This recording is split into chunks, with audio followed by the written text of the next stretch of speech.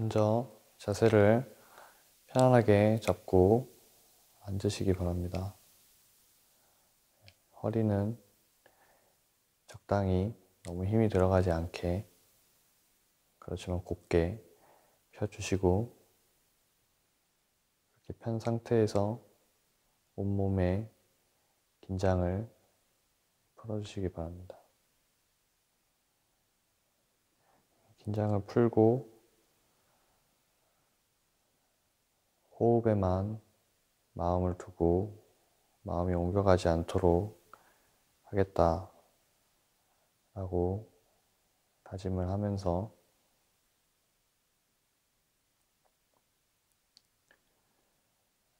뭔가 마음에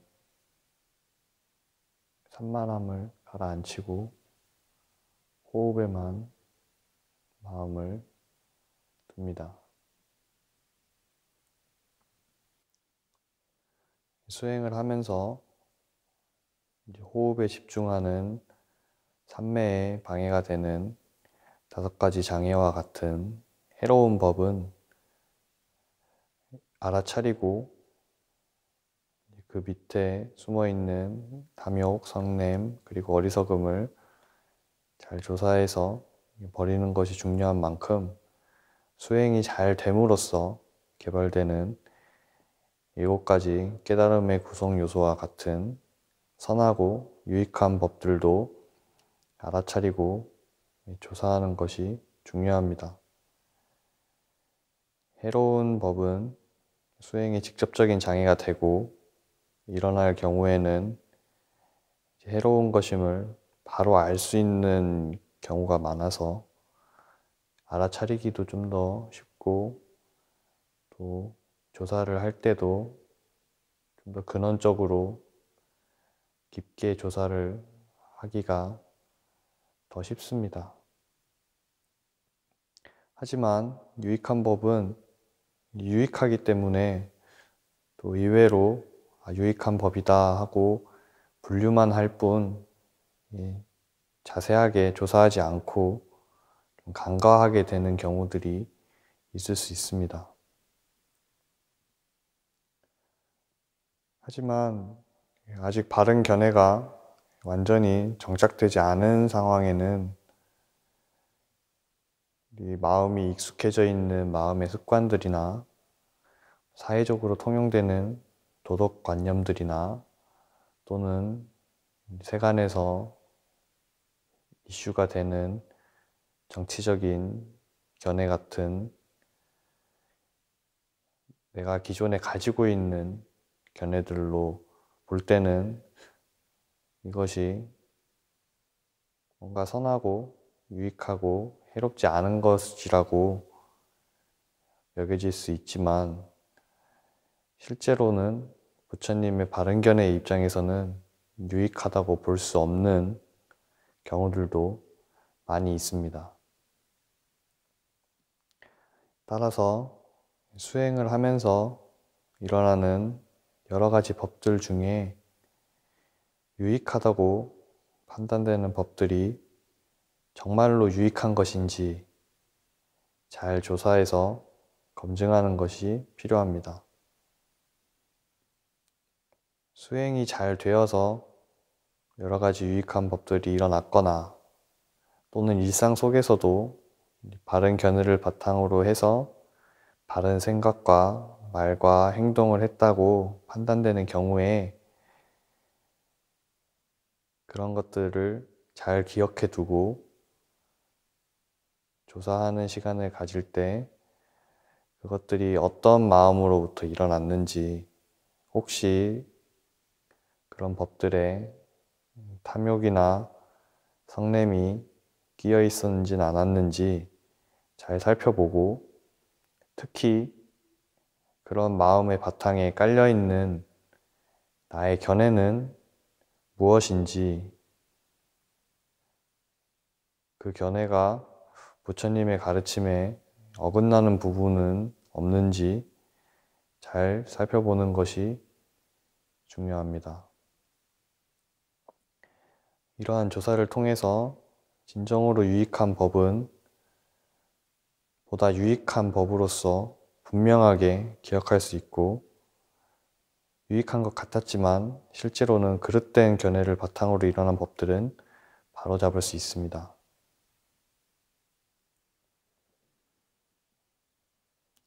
이런 점을 잘 생각해서 해로운 법들뿐만 아니라 유익한 법들도